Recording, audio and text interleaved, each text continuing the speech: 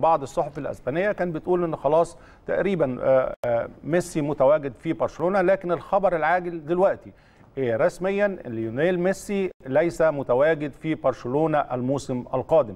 ده كان خبر يمكن هيكون صادم لمحبي برشلونة ب- ب- بشكل كبير جدا لأن كل التوقعات كانت قالت إن ميسي خلاص هيكون موجود في برشلونة ان هم يعملوا له عقد.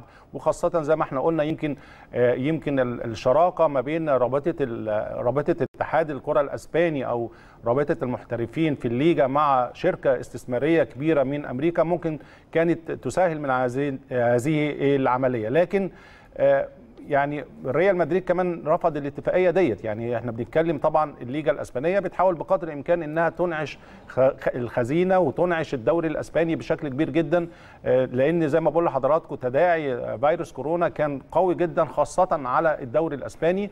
ولكن دلوقتي كمان ريال مدريد آه، بيعارض هذه الصفقة ما بين الليجا أو طبعا رابطة ال- الكرة في أسبانيا أو الاتحاد الأسباني مع الشركة الأمريكية. لكن الخبر كمان الصادم جدا هو عدم آه، الاتفاق يمكن برشلونة أعلن رسمي- رسميا عدم الاتفاق مع ميسي على التجديد لموسم آخر أو لعدة مواسم أخرى في برشلونة.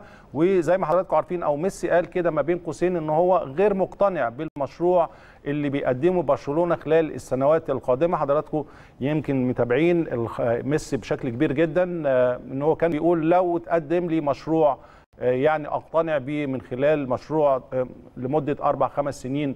آه، أشوف إن برشلونة هيكون يعني ينافس على البطولات بشكل كبير جدا. ممكن أكون متواجد لكن النهارده بيعلن برشلونة عدم الاتفاق مع ميسي على التجديد لموسم آخر أو خلاص رحيل ميسي عن برشلونة.